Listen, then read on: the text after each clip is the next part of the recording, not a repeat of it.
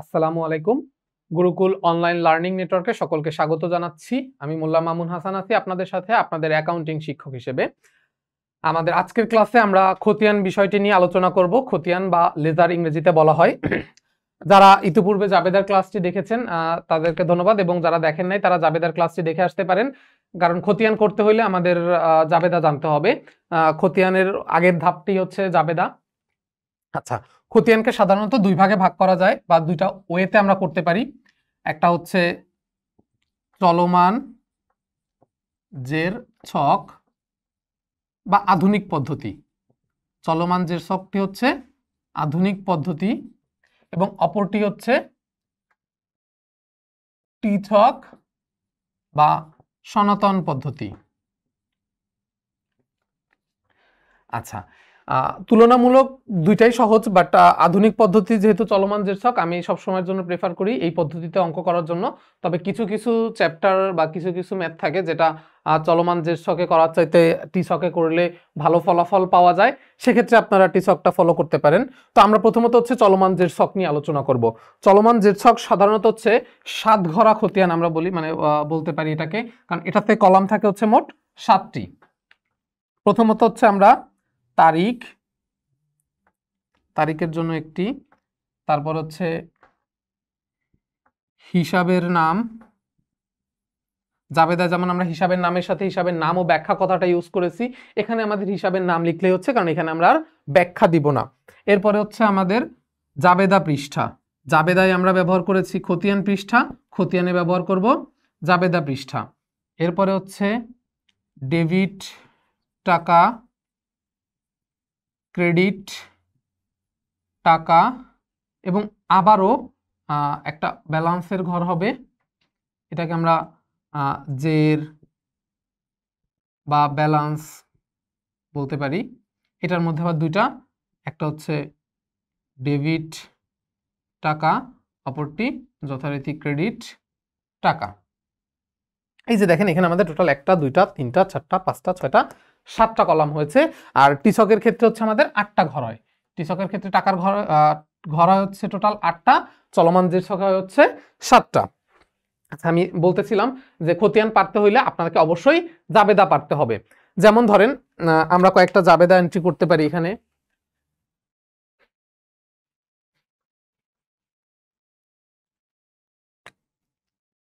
নগদে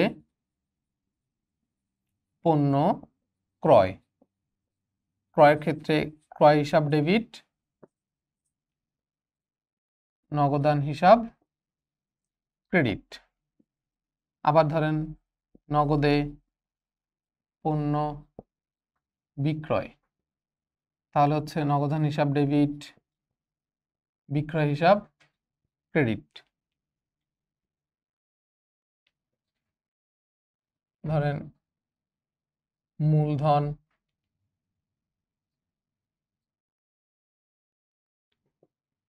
আনয়ন, পঞ্চাশ হাজার টাকা। তাহলে নগদান হিসাব, ডেবিট এবং মূলধন হিসাব, ক্রেডিট। আমরা আমাদের অঙ্কের সুবিধার্থে এটাকে এক নম্বর, এটাকে দুই নম্বর, এটাকে তিন নম্বর জাবেদা হিসেবে দেই এবং একটা চার নম্বরটা আমরা দেই। ধরেন সাপোজ বেতন প্রদান দুইশো টাকা। তাহলে জাবেদা কি হবে? বেতন হিসাব, ডেবিট নগদান হিসাব, ক্রেডিট। ধরেন পণ্য ক্রয় করেছিলাম আমরা আট হাজার টাকার, বিক্রি করেছিলাম ধরেন পনেরো হাজার টাকার। ঠিক আছে? আমরা এখানে চারটা জাবেদা লিপিবদ্ধ করেছি, আবারও দেখাই। প্রথম হচ্ছে মূলধন আনয়ন ছিল হচ্ছে আমার নগদান হিসাব, ডেবিট, মূলধন হিসাব, ক্রেডিট পঞ্চাশ হাজার টাকা। তারপর নগদে পণ্য ক্রয় করলাম আট হাজার টাকার, যেটা জাবেদা হচ্ছে ক্রয় হিসাব, ডেবিট নগদান হিসাব, ক্রেডিট নগদে পণ্য বিক্রয় করলাম পনেরো হাজার টাকা, যার নগদান হিসাব ডেবিট বিক্রয় হিসাব ক্রেডিট এবং বেতন প্রদান করলাম হচ্ছে দুইশো টাকা, যার বেতন হিসাব ডেবিট নগদান হিসাব ক্রেডিট আমরা এভাবে শুরুতে জাবেদাগুলো করে নেব।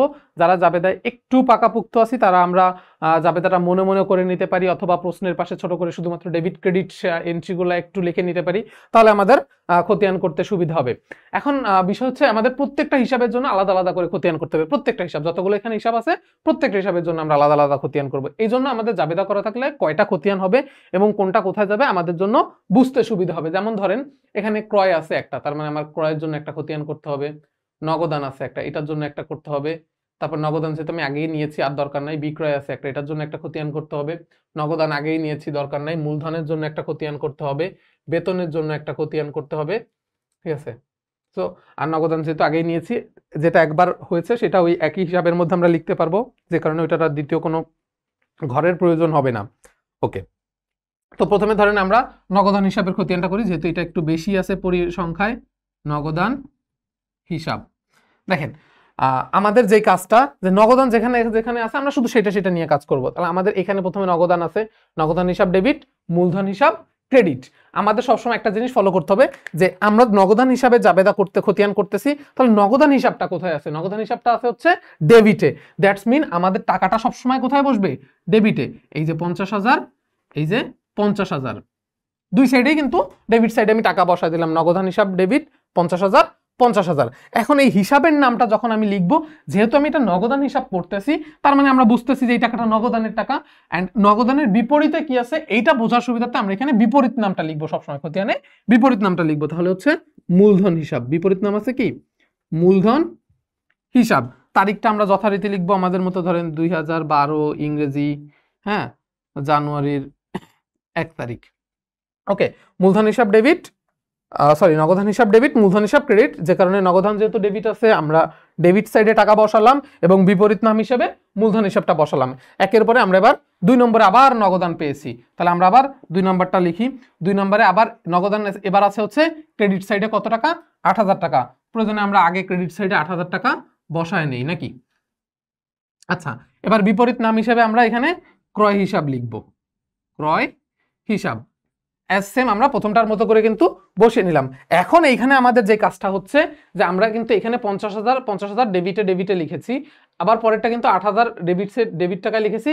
ব্যালান্সে গিয়ে আমরা আর আগের মতো করে করব না। ব্যালান্সে এখানে আট হাজার টাকা এইভাবে লেখা যাবে না। এখানে আমরা একটা ব্যালান্স বের করব। কীভাবে বের করব?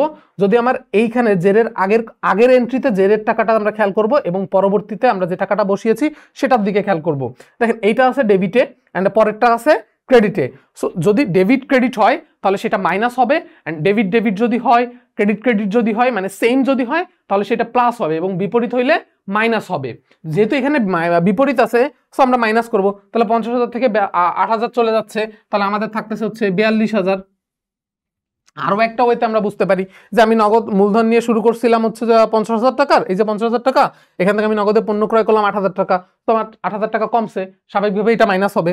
আচ্ছা এরপরে পরবর্তীটায় আমরা যাই তিন নম্বরে, বলছে কি নগদে পণ্য বিক্রয় করা হয়েছে। তাহলে জাবেদা করলে আমরা পাচ্ছি নগদান হিসাব ডেবিট, বিক্রয় হিসাব, ক্রেডিট। নগদান হিসাব ডেবিট, বিক্রয় হিসাব, ক্রেডিট। তো নগদান আমার ডেবিটে আছে, তার মানে এটা টাকা ডেবিটেই বসবে। তাহলে পনেরো হাজার টাকা আমরা আগে আবার ডেবিটে বসায় দেই। এবং বিপরীত নাম হিসেবে আমরা বিক্রয় হিসাব নামটা লিখতে পারি। বিক্রয় হিসাব। আচ্ছা এবার আমরা আবার জেরের এখানে কাজ করি। দেখেন, আমার জেরের অলরেডি ডেবিটে টাকা আছে হচ্ছে বিয়াল্লিশ হাজার। আগের এন্ট্রি যখন আমরা করেছি, তখন কিন্তু আমরা তার আগেরটা ফলো করেছি। এখন তার পরেরটা করতেছি, তার মানে এবার তারপরে যেটা আছে মানে এইটার রিসেন্ট যেটা আছে আমরা সেইটা ফলো করব। তাহলে বিয়াল্লিশ হাজার এটা আছে ডেবিটে পনেরো হাজার আছে ডেবিটে তার মানে ডেবিট ডেবিট যদি হয়, তাহলে সেক্ষেত্রে সেটা যোগ হয়। বিয়াল্লিশ আর পনেরো, সাতান্ন হাজার। Okay fifty seven thousand and then আমাদের লাস্ট ওয়ান যে বেতন প্রদান হইল, করা হলো দুইশো টাকা। তাহলে আমরা জাবেদা করলে পাচ্ছি হচ্ছে বেতন হিসাব ডেবিট নগদান হিসাব ক্রেডিট সো নগদান হিসাব যেহেতু ক্রেডিট আছে, তাহলে আমরা আবার নগদান হিসাবে দুশো টাকা ক্রেডিট বসায় দিতে পারি। অ্যান্ড আমরা বিপরীত নাম হিসাবে এখানে বেতন হিসাবটা লিখতে পারি যে বেতন হিসাব। ওকে তারিখ হচ্ছে আমাদের চার। অ্যান্ড আবার দেখেন, এখানে আমাদের জেরের কলামে টাকা আছে হচ্ছে সাতান্ন হাজার টাকা ডেবিটে এবং ক্রেডিটে আছে হচ্ছে দুইশো টাকা। তো যেহেতু ডেবিট ক্রেডিট আছে, তাহলে সবসময় মাইনাস হবে। বিপরীতমুখী হইলে হচ্ছে মাইনাস এবং সমমুখী যদি ডেবিট ডেবিট ক্রেডিট ক্রেডিট হয়, তাহলে প্লাস এই জিনিসগুলো সুন্দর করে মাথায় রাখবেন, তাহলে হয়ে যাবে। তাহলে সাতান্ন হাজার থেকে দুইশো টাকা চলে গেলে ছাপ্পান্ন হাজার আটশো টাকা থাকে। তাহলে এইটাই হচ্ছে আমাদের আনসার তাহলে আমাদের যদি এখন আনসারটা কি হবে? যে নগদান হিসাবের ডেবিটসের ছাপ্পান্ন হাজার আটশো টাকা। এই টাকাটা আমরা জাস্ট লাস্টের যে টাকাটা আছে, সেই টাকাটা আমরা সবসময় ফলো করব। যদি এই টাকাটা ক্রেডিট কলামে থাকতো, তাহলে এটা হয়তো ক্রেডিটসের যেহেতু ডেবিট কলামে আছে, সেহেতু এটা হবে হচ্ছে ডেবিটসের এবং আমরা জানি যে অঙ্ক শেষে সবসময় অ্যাকাউন্টিংয়ের যে শেষে আমরা জেড টানি ফলাফল বের হইলে কিন্তু চলমান জেড শকের ক্ষেত্রে কখনো জেড টানার প্রয়োজন নাই। চলমান জেড শকে যে আমরা অঙ্ক হয়ে গেছে, ঘপাস ঘপাস করে জেড টানা দিলাম, না, কোনো জেড টানার প্রয়োজন নাই চলমান জেড শকের ক্ষেত্রে। ওকে তাহলে আমরা নগদান হিসাবেরটা অলরেডি কমপ্লিট করে ফেললাম। এরপরে আমরা যদি অন্যান্য যে আমাদের কিন্তু এখানে টোটাল পাঁচটা খতিয়ান করার কথা ছিল, যে ক্রয়ের জন্য একটা খতিয়ান, নগদানের জন্য একটা খতিয়ান, বিক্রয়ের জন্য একটা খতিয়ান, মূলধনের জন্য একটা খতিয়ান, বেতনের জন্য একটা খতিয়ান, ঠিক আছে? তো আমরা একটা কমপ্লিট করলাম, এবার বাকিগুলো আমরা আস্তে আস্তে করে দেখি। তাহলে আমাদের আরও চারটা খতিয়ান করতে হচ্ছে। সাধারণত নগদানের খতিয়ানটা একটু বড় হয়, এটার জন্য আমরা একটু খাতায় বেশি জায়গা নিব। এবং দেখা যাচ্ছে আপনার সাতটা খতিয়ান করতে হচ্ছে পরীক্ষার খাতাতে। তখন এই সাতটা আলাদা আলাদা ছক করতে গেলে আপনার জন্য একটু কষ্টসাধ্য হবে। সেক্ষেত্রে আপনারা একই সাথে এই সাতটা খতিয়ান কমপ্লিট করতে পারেন। ঠিক আছে? সুন্দর করে। যেমন ধরেন আমাদের উপরে টাইটেল লেখার জন্য একটা জায়গা লাগে এবং দেখেন, পরবর্তীতে কিন্তু ক্রয়ের জন্য জাস্ট একটা, বিক্রয়ের জন্য একটা, মূলধনের জন্য একটা বেতনের জন্য একটা জাস্ট একটা একটা করে কিন্তু এন্ট্রি যাবে। তার মানে এটার জন্য যে আমার এক পৃষ্ঠা বা আধা পৃষ্ঠা নিয়ে অনেক বড় জায়গার প্রয়োজন হবে, সেরকমটা না। আপনার জাস্ট একটা এন্ট্রি লেখা যায়, এই পরিমাণ জায়গা নেন। ঠিক আছে? জাস্ট আমি যদি এতটুকু জায়গা নিই, এতটুকু জায়গাতে কিন্তু আমার একটা এন্ট্রি লেখা হয়ে যাবে। দেন পরবর্তীতে আমি আবার একটু ছক করি। দেখেন, এখানে কিন্তু আমি দুইটা ছক কমপ্লিট করে ফেলতেছি একবারে। এই যে দেখেন, তারিখ, তারপরে যে হিসাবের নাম তারপরে জাবেদা পৃষ্ঠা, ডেবিট টাকা, ক্রেডিট টাকা, তারপরে কিন্তু আমার এই যে জের, জেরে আবার ডেবিট টাকা, ক্রেডিট টাকা। ওকে, তাহলে আমরা এই হিসাবের ঘরের নামগুলো লিখি, তারিখ, হিসাবের নাম, জাবেদা পৃষ্ঠা, ডেবিট টাকা। আমি শর্টকাট লিখতেছি, আপনারা শর্টকাট লিখবেন না, আপনারা এটা পূর্ণাঙ্গ রূপটা লিখবেন। ক্রেডিট টাকা তারপরে জের। জেরে আবার ডেবিট টাকা। ক্রেডিট টাকা। ধরেন এটা আমি ক্রয় হিসাবের জন্য প্রস্তুত করতেছি। আমার এখানে জায়গা কম ছিল বিধায় আমি দুইটা করলাম। বাট আপনারা কিন্তু পুরো জিনিসটা, পুরো পৃষ্ঠা ভরে এই কাজটা করতে পারেন যে সম্পূর্ণ পৃষ্ঠায় যে আর আর আমাদের আর চারটা দরকার ছিল, একই পৃষ্ঠায় কিন্তু চারটা কমপ্লিট করা যাইতো। ঠিক আছে? ওকে তাহলে এটা আমরা প্রথমটা ক্রয়ের জন্য করলাম, আর পরেরটা আমরা ধরি সাপোজ বিক্রয়ের জন্য। যে বিক্রয় হিসাব। ওকে সেক্ষেত্রে এবার আমরা দেখি যে আমরা একটা জিনিস যে আমরা কিন্তু, যে তারিখটা কিন্তু সবসময় সেম ভাবে লিখব, দুই হাজার বিশ ইংরেজি, ধরেন এপ্রিলের এক তারিখ। আবার এখানে তারিখ হচ্ছে দুই, আমি পরেরটা তারিখ লিখলাম না। আপনারা এই এই ঘরের ইয়াগুলো একটু লিখে নেবেন অবশ্যই, এগুলো ফাঁকা রাখা যাবে না। ধরেন এটা হচ্ছে এপ্রিলের দুই তারিখ বা এপ্রিলের তিন তারিখ, এটা এপ্রিলের দুই তারিখ। তো এখানে দেখেন ক্রয় হিসাব, আমরা যেহেতু ক্রয়ের যাবে খতিয়ান করতেছি, ক্রয় হিসাবটা কোথায় আছে? ডেবিটে আছে আট হাজার টাকা। তাহলে আমরা চোখ কান বন্ধ করে প্রথমে আট হাজার টাকা ডেবিটে বসায় দিব। এবার আমরা বিপরীত নাম হিসেবে নগদান হিসাবের নামটা লিখব। নগদান হিসাব। যেহেতু আমাদের ক্রয় হিসাব এখানে একটাই আছে, সেহেতু আমার কিন্তু আর জায়গার দরকার নেই, আমার অঙ্ক কমপ্লিট এখানেই। বাট যদি আরও থাকতো, তাহলে আমরা নগদান হিসাবের খতিয়ান যেভাবে করেছি, ঠিক সেই একইভাবে আরোগুলো, বাকিগুলো আসতো এবং পরবর্তীতে কিন্তু আমরা এখানে ব্যালেন্স বের করতাম আমরা এই জেরের সাথে বা ব্যালেন্সের কলামের সাথে। এই ডেবিট ক্রেডিট কলামের যে টাকাটা আছে, সেটার একটা সমন্বয় করতাম। ডেবিট ডেবিট থাকলে যোগ করতাম ডেবিট ক্রেডিট থাকলে বিয়োগ করতাম। যেহেতু একটাই এন্ট্রি সো এটাই কিন্তু আমার এখানে রেজাল্ট বের হয়ে গেছে। যে ক্রয় হিসাবের জের কত?